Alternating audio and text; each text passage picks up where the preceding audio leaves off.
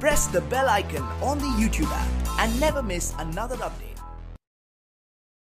Aslam welcome to my channel technical M चलिए शुरू करते हैं। इस वीडियो के अंदर मैं आप लोगों को Redmi Note 7s के बारे में इंफॉर्मेशन देने वाला हूँ।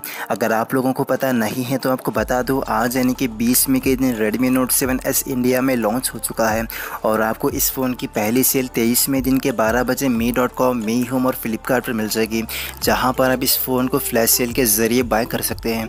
और बात करें इस फ़ोन के वेरियंट्स की तो आपको इस फ़ोन के अंदर दो अलग अलग वेरियंट्स मिलने वाले हैं, जहाँ पर आप तीन जी बी रैम बत्तीस जी बी स्टोरेज को दस हज़ार नौ सौ निन्यानवे रुपये और चार जी बी चौंसठ जी बी स्टोरेज को बारह हज़ार नौ सौ निन्यानवे में बाई कर सकते हैं।